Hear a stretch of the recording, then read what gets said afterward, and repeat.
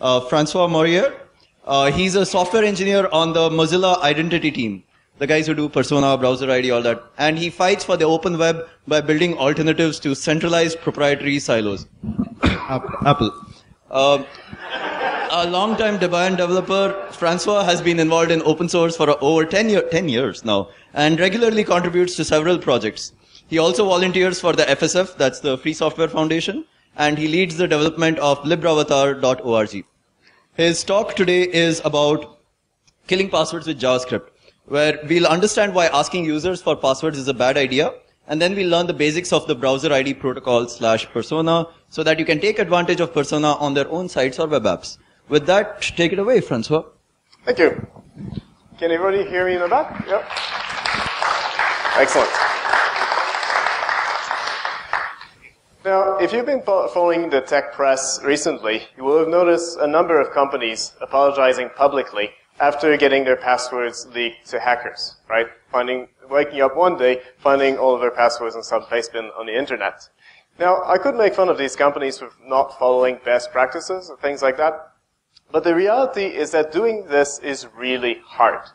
Keeping passwords secure is a hard problem because you have to do a whole bunch of things. You have to use a secure hash algorithm, i.e. not MD5. You need to use per user salt values. You have to have a site secret that's outside of the database. Then you need to have password and lockout policies to prevent brute force attacks. And of course, the recovery mechanism that you use for when your users forget their passwords, that has to be just as secure as the rest, otherwise the rest may as well not exist. But what's the biggest problem with this list though? The biggest problem is that these are the 2013 password guidelines. I can guarantee you that in five years, there's going to be even more stuff that you need to do to protect your passwords. Because this is an arms race between you, the site owner, and the attackers trying to get at your passwords. Not a good position to be in. So for you, as a site owner, passwords are really a liability. It would be really nice to be able to just get rid of them, right? I don't, I don't recommend that you, uh, that you do this right now. But it would be nice, right? So second, problems, second problem with passwords is that they're really hard to remember. That's a big deal for users. Now you may think, well, you know, users could just harden up and use a password manager, right? There's one in every web browser. There's a couple of products that do a really nice job syncing across devices, all of that stuff. But the reality is that when we asked users what kind of password managers they use, they said it's one of these. Not exactly the kind that we like people to use. So instead of using password managers, what do users do? They pick, they employ this strategy. They just pick a really easy password. That way, it's not a big deal to remember that password because it's really easy. This is the top 500 passwords, by the way. You may be able to spot a couple of weak ones. The other thing that a lot of users do is this. They just use the same password everywhere, right? If you've only got one password, it's much easier to remember all of them, right? Because there's only one of them. Now, of course, this means that your security, well, basically, you're just as secure as the worst site that you use this password on. Because if that site gets owned, then basically all of your passwords are leaked, right? So an attacker can just access all of your accounts. So there's lots of problems with this. The other thing, of course, is that passwords will be forgotten, so users have to reset them. You need to provide some kind of mechanism for that to happen. And typically, it looks like this. You type in a username, email address, and then you will receive an email, you click a link, and then you set a new password. Right? The usual password reset flow that every one of us has seen before. Now, what this means though, is that if you control someone's email account, you essentially control all of their accounts through this reset flow, right? Now, I'm not saying that's necessarily a bad thing, because if you have a strong password and you use two-factor authentication, for example with Gmail, then that password is very strong, and it's not a big deal. But I'm just saying that's the current state of things today. Now, this is an alternative to passwords, one that's quite popular with a lot of sites. And I'm not saying that it's, that it's always a bad thing to do this. There are, there are lots of good reasons to go that way which is outsourcing your passwords to a big for-profit company. But um, there are big disadvantages as well. And one of them, of course, is what do you do with users that don't have one of these accounts?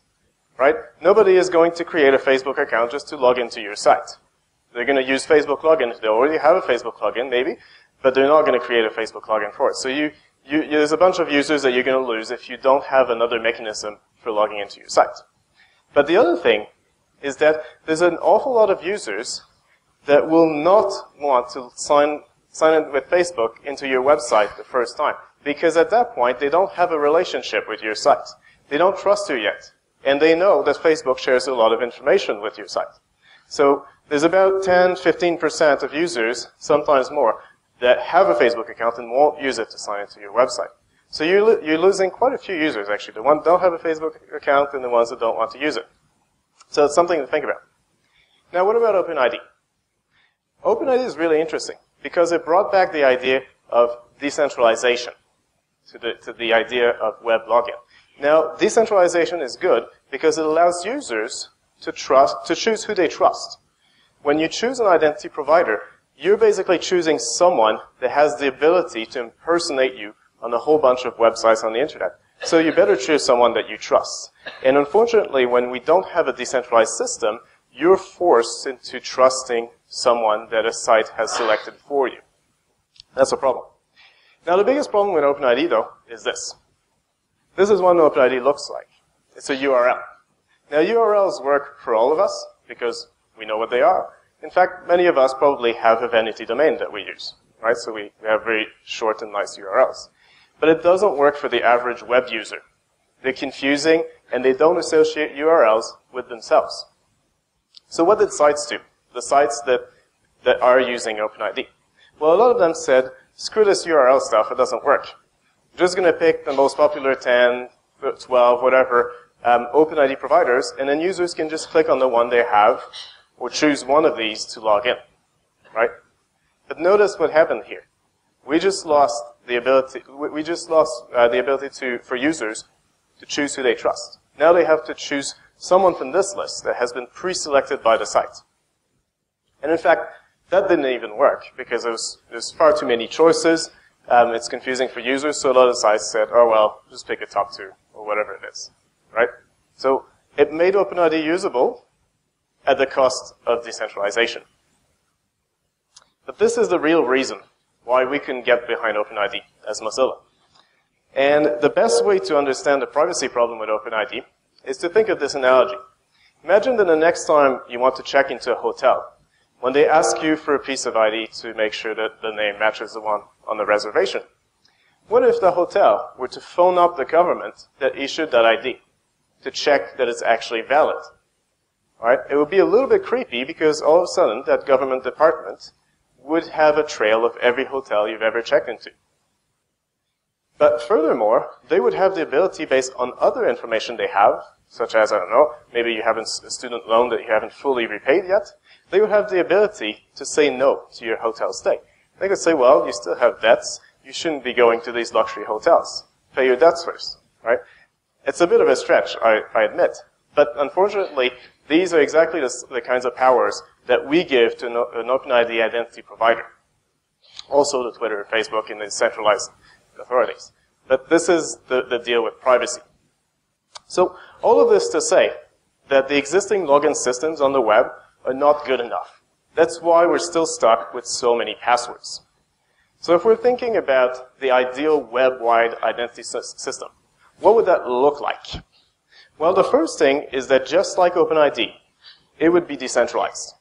Right? It's important to give users the ability to choose who they trust, to change identity providers, and to run their own if they want to. OpenID did this. We, we should do this. The next thing is it has to be simple. If the user experience is not great, then users are not going to want to use your site. Then you lose a whole bunch of potential customers. Or, if they really have to use your site, like it's an internal site and they need to use it to get paid, um, then they're going to fail and then they will drive up your support costs. Right? So it has to be simple to, to actually work. But it also has to be simple for developers. Because if it's not simple for developers, there's no chance it'll ever be secure. And finally, we're no longer in 2003. Internet Explorer no longer has 95% market share. we need a system that works on more than one browser. It needs to work on all of the browsers that people use on all of the devices that they use. Otherwise, it's useless, right? If I was standing here and, and telling you about a login system that only works in Firefox, you'd be right in not being interested. So what if this were a standard part of the web? What if it came with your web browser, this login system? Well, that's exactly what we're building with Persona. Now let me show you how it works. First thing to know is that Persona is based on the concept of a verified email address. This is my email, or one of my emails. If I can prove to you that I own this email, then when I come to your site, you can create an account for me that's tied to that email address. Next time I come along, I will show you the same proof, and then you can let me in. Right? No passwords need, no password needed. That's the idea. So verified email address. And so um, I'm going to invite Nigel and Rakesh to uh, join me for uh, a little demo of the browser ID protocol. That's the protocol behind Persona. So I'm going to be the browser. Nigel here is uh, going to be. Nigel is going to be Wikipedia, so I'm going to try to log into Wikipedia using uh, browser ID or Persona. And Rakesh is going to be Gmail, my identity provider, because I've got a Gmail address. So the first thing I'm going to do is uh, on the browser, I'm going to generate a uh, public and private key for that identity, and uh, I'm going to call that a certificate with that email address. So I've got a little certificate here with my email address, and now I need to get it signed because it needs to be a verified email address. So um, I'm going to go to Mr. Gmail. Hello, Mr. Gmail. Oh, you don't have a mic. I will uh, bring a mic for you. oh, let's try again. Hello, Mr. Gmail. Hello. Could I get you to sign my certificate, please? Sure. What's your password? Ah, good point. I actually need to authenticate before Gmail agrees to sign my certificate. So. Thank you. Asterisk, asterisk, asterisk, asterisk, asterisk. Here, so I'm locking this now with my private key. Excellent. Thank you. You can keep your private key. I don't need it. Thank you. All right.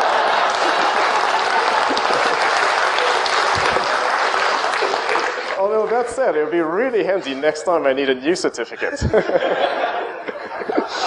All right. So, the, uh, so now here I've got this um, certificate that is signed by uh, Gmail. So what I need to do now is I need to uh, create an assertion. Now, if I were to use this directly to sign into um, to sign into uh, Wikipedia here, the problem is that Wikipedia might be able to just turn around and then impersonate me on another website because it would have my certificate. So instead what we do is we don't use certificates directly, we use assertions. Assertions are this little cryptographic bundle that contains three things. It contains, of course, a certificate, but it also contains an audience and an expiry. The audience is just the URL of the site you're trying to log into. So in this case, that's wikipedia.org. The expiry, I'll say expires in two minutes. That will give me enough times, enough time to sign in, and then the assertion becomes useless. So there you go. Going to seal my assertion with my certificate in it. And now I'm going to take it to Wikipedia to log in. Hello, Wikipedia. I log in, please? Um, well, let me check your assertion. The audience is Wikipedia. Oh, that's me. And the expiry is in two minutes.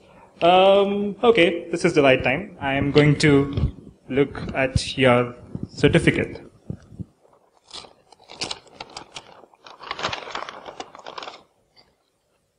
Okay, so you have your provider is Gmail. So I'm going to get a key from Gmail.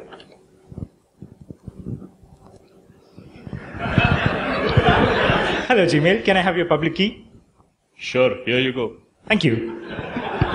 So notice here that uh, when Nigel went over to Rakesh to request his public key, he left my uh, certificate in here. He didn't actually need to reveal to Gmail who was trying to log into Wikipedia because it's the same public key for everyone. So that's where we get the little privacy thing.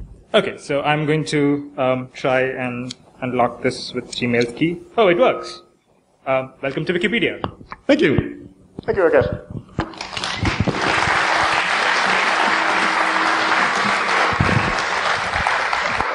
So- Excellent. So that's um, that's the browser ID protocol for you. Now I'm going to show you uh, a little demo of what it looks like on the web, and I'm not going to use the Wi-Fi. Instead, I've got, I've got this little screencast here. So this is Voost, a site that uses Persona. It uses Persona and Facebook.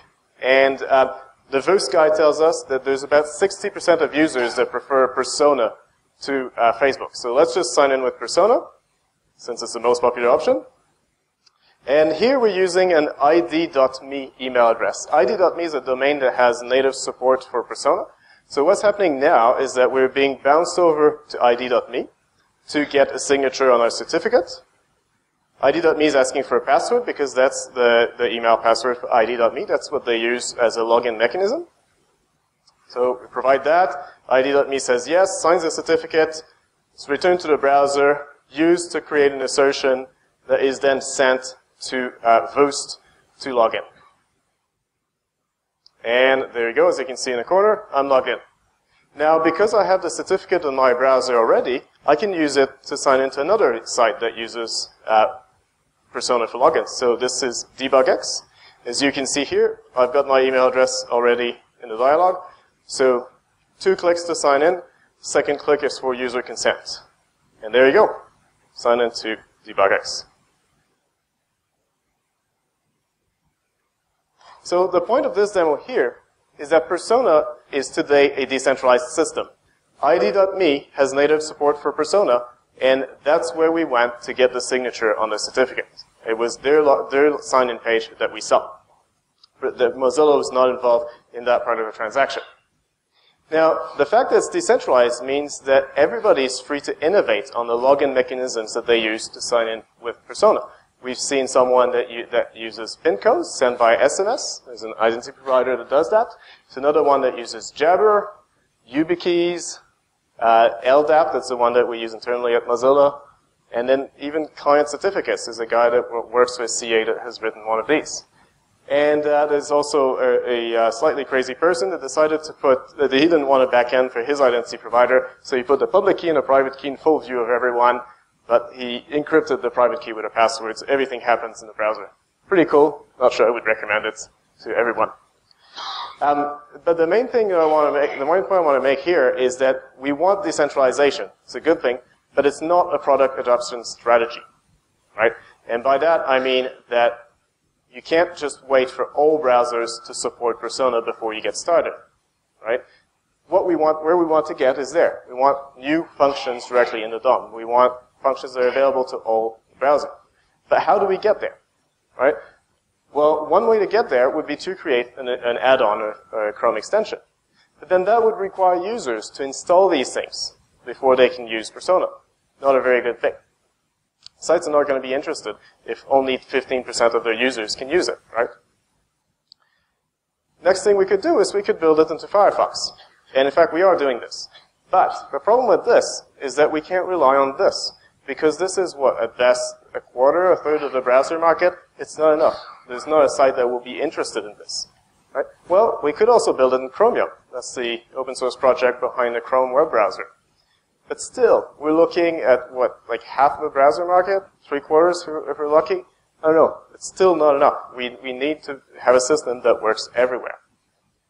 So this is what we decided to do instead. JavaScript. We wrote a JavaScript shim, temporary JavaScript that makes it work in all browsers. And this uh, pattern that I'm going to show you is called LIFT, or locally isolated feature domain. Now what this means is that if you want trusted code running in the browser, which we do because it's dealing with people's private keys and things like that, um, first thing that you're going to do is you're going to get a domain. The domain, in our case, is login.persona.org, this one. And then you're going to use local storage.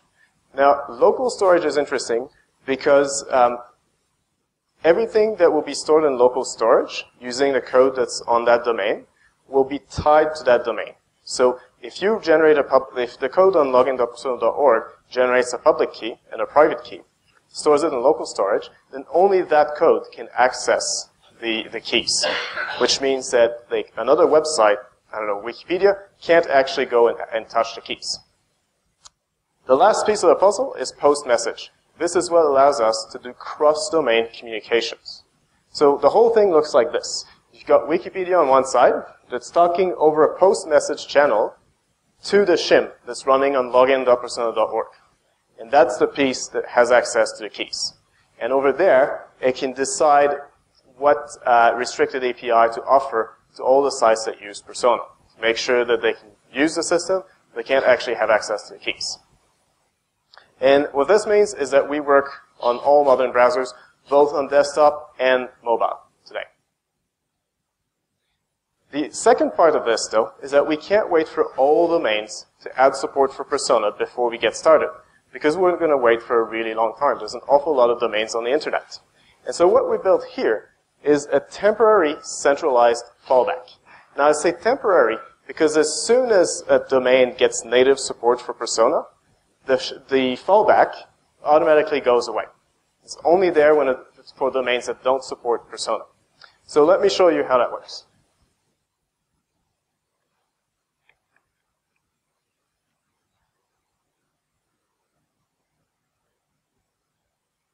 So this is uh, Slowblog. It's a site that uses only Persona for logins.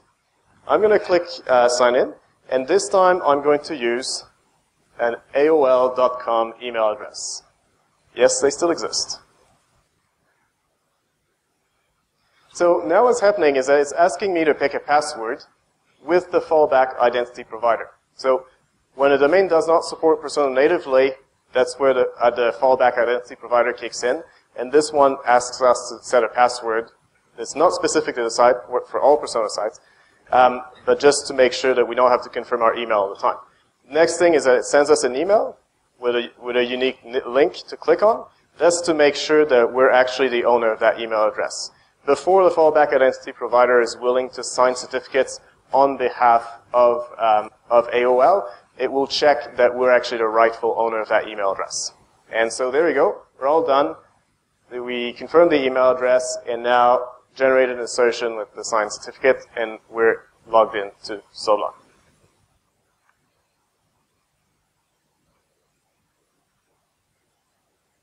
So the point of this demo was to show you that Persona works today with all email domains, either through the fallback or through native support. But we can do better than this. There's a feature called identity bridging. And what that is, is that if you look at a couple of email providers, they already have an API that, that people can use to authenticate against them. For example, Yahoo has OpenID. So what we built is a bridge that talks OpenID to Yahoo and browser ID to your browser. So let's see what that bridge looks like.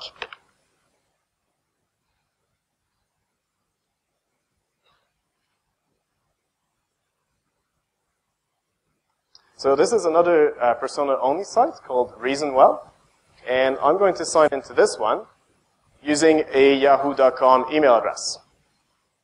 And what you're going to see here is that the bridge is going to kick in, and the bridge will then bounce us over to the real Yahoo login page. So we don't have to set a new password. We're just using our existing Yahoo password. And Yahoo will then uh, confirm to the bridge that yes, it's the right person because they authenticated successfully and then the bridge will be able to sign uh, certificates on behalf of Yahoo without having to have an email confirmation step for that user. And so there you go. Certificate is signed, and we're logged in. As easy as that. So it works today with Yahoo, as you just saw. And uh, it also works with Gmail. So we have a bridge that speaks OAuth to Gmail and then uh, browser ID to the browser. So, which means that today all of these users have a near native experience with Persona. So, Persona works everywhere. Um, before I go though, I want to share with you a couple of uh, quick lessons that we learned in that project. And the first one is that user testing is really important. This is what we use to recommend to people. Just put this button when you want to add Persona to your website. Unfortunately, it doesn't work. A lot of people don't know what the hell a persona is, and they don't think they have one. So they didn't click on that button. Even worse was this one. Now, a couple of people used this because they had, I don't know, like Facebook, Twitter, and then they just added a third thing that was Mozilla Persona. Uh, unfortunately, this was even worse because a number of people were like, oh, well, I use Chrome. I can't click on this because it, it this obviously requires Firefox. It says Mozilla, right? So don't use this either. What we found is that this one works a lot better. Sign in with your email. Everybody has an email. You just click the button and use it to sign into this website. Second thing is nobody wants to be first. This is not a surprise, right? But this is a very uh, popular question that we get. How many users does Persona have? Um, it's really annoying when you're trying to start a new project, right? When you're trying to start a new identity system, um, the answer is initially zero, right? Um, but what we did is with this bridging that I've just shown you, now we're able to say that we have 700 million users that are ready to go with Persona. They don't need a new password. They don't need to click an email link to get started. So that's a big deal for us. And finally, if a problem has been around for a while, like password problem on the web, uh, it's probably a hard problem. See if you can solve parts of it. For example, with Persona, we're not going to solve this problem. You're not going to use Persona to sign into your uh, servers via SSH. You're also not going to be able to use Persona to log into your Windows desktop. And that's okay, because Persona is designed as a simple login system for the web. That's what we're focusing on. That's the problem we're trying to solve. Now, how simple is it for developers to add to their website? Well, the answer is it's really just four steps, four pretty easy steps. And you can find them that URL, which will be at the end of the presentation as well. But just to give you a flavor, the first thing you have to do is to load this JavaScript file. So this is the shim. This is a temporary JavaScript shim that works around the fact that browsers don't have native support yet. Then what you do is you call a setup function. You pass in two callbacks. The one for uh, when it's time to log a user in, what do you do? And the next one is when it's time to log a user out, what do you do? Um, the third one is you have to hook your login and logout buttons to the right things. So login will, would call navigator.id.request, no parameters needed, and logout would call logout. Finally, you need to verify the assertion, like Nigel did, server side. Uh, it's important because you can't trust the client to not lie about it. Uh, and for that, we provide a bunch of libraries. Uh, usually it's just two lines of code and you're done. And the best part is that you don't need an API key for this. None of this bullshit. You don't have to, key, to ask for permission before you use Persona. Now, I want to leave you with one small request. And that is, stop making the problem worse. Stop making the password problem worse on the web. And by that specifically, I mean, if you're building a new website, default to Persona. Now, I'm not saying you should always use Persona. There's lots of reasons, there's lots of good reasons to uh, use something else sometimes. But don't start with a default of asking users to pick another password.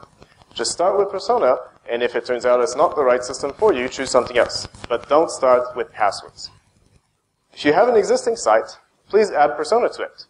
As you've seen with Voost, you can uh, easily have Persona next to Facebook. And in their experience, it actually works better than Facebook, but uh, for their particular site.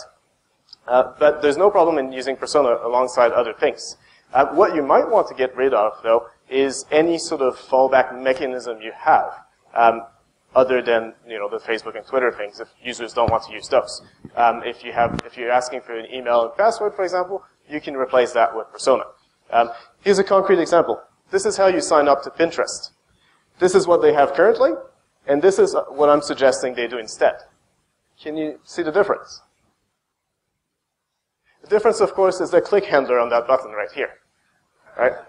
Um, you change that to use Persona, then you can get rid of that ugly form and that uh, ugly column as well. Thank you very much. Uh, I have a question. Uh, there's one there. Yeah. So, um, so obviously you need a browser uh, for this to work, right? So what if I want to access an API that's, uh, you know, uh, API that's exposed by a website that's behind a persona thing? Like, I, I'm I'm writing a thick client, a desktop client to invoke an API. I won't be able to use Persona then, right? So okay, so so the question is like basically if you if you're using like another application that wants to talk to an, an application you'll be a REST API, how to use uh, Persona, that kind of stuff. So Persona, what we have to to to uh, distinguish is authorization and authentication. Persona is authentication. So what you would do in that case is uh, is use a different technology for the authorization part. So for example, you, uh, if you want, uh, say you have a, a, um, a thick client on, on, on a, I don't know, Windows desktop or whatever, that needs to authenticate with your app. What you would do is you would show a web form initially to the user so that they log in. And at that point, they log into your website and some kind of token is exchanged. The app has, keeps the token and the token can be revoked later. But basically, after that, when the app needs to, to, to, to talk to your REST API, then it would just exchange a token. It wouldn't use Persona for that part. It would only use Persona for the initial uh, setup phase. Okay, thank you. We're not, like, we're not trying to replace OAuth and all of these things that, that people do. We're trying to, to get rid of passwords, basically. Uh, I'm Kaustav. Uh, I just want to add something to what you said about the setup part. Is that there are plugins available for Drupal, for WordPress, and for Drupal is the Breeze to set up Persona. You just install the Drupal module, and uh, the module does everything on its own. Yeah, there's, there's lots of, uh, that URL here, uh, libraries and plugins. There's lots of libraries available for language, for various languages, uh, lots of plugins available for, for, uh, like, open source software, frameworks, things like that. So thank you very much. It's a good point.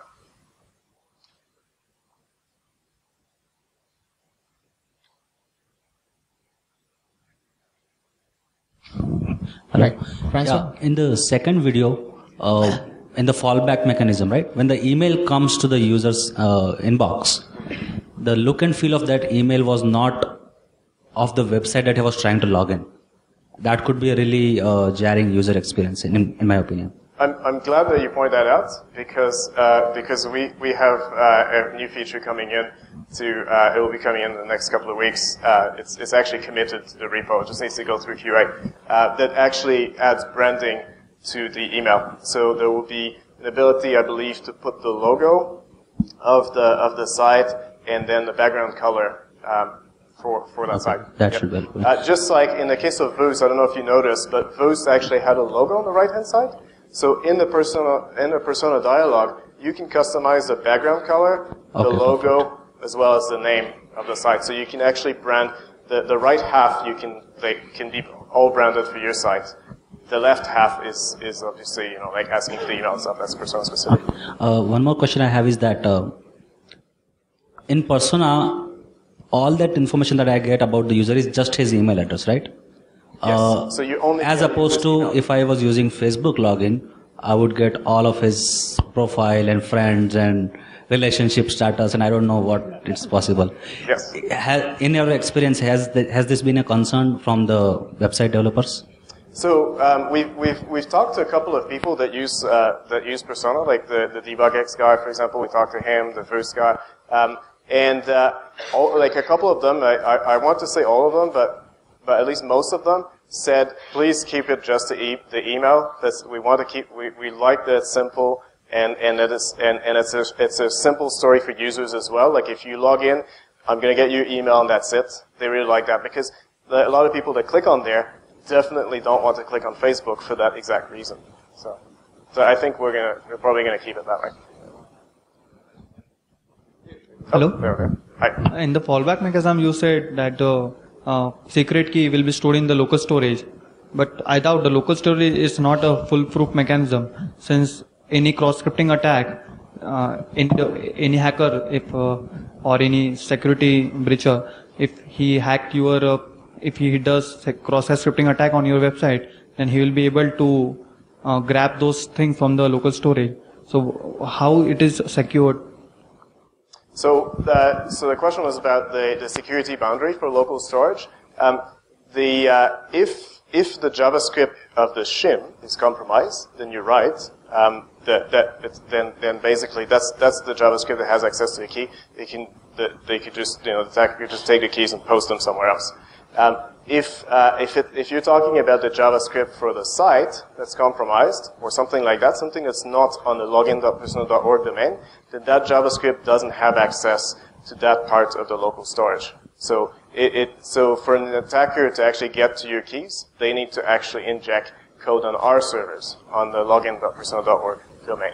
Uh, and that will also go away when we have native support in the browser. So in the native version of, of Persona in Firefox that we're working on, uh, the keys will not be stored in local storage, and the code that's accessing it will not be downloaded through the internet either. So, but, but still today, like it's it's safe from a, a typical cross-site scripting attack. Uh, so I, like what he said, I just wanted to know, uh, now with that we have packaged applications using uh, Firefox or Chrome. So suppose uh, I'm building an offline application that I need to run on a, on a user's desktop and uh, I want uh, the support of Persona over there too. even when cases, when internet is not there. So what is the support for that? So that comes down to pretty much the same question that, that this guy had. Um, you use Persona for the in- initial login to exchange some kind of token and then you use that token in, for the, the authorization kind of aspect, you know, for the every everyday kind of request to, to REST API or whatever. You just present a web view the first time, and so there, there's people using it successfully on mobile and other things like that, and that's kind of the approach that they use. The last thing you want is to show the password prompt every single time someone signs into your app, of course. Uh, hi. Uh, how safe do you think would it be to use Persona on a shared computer or a shared browser, maybe?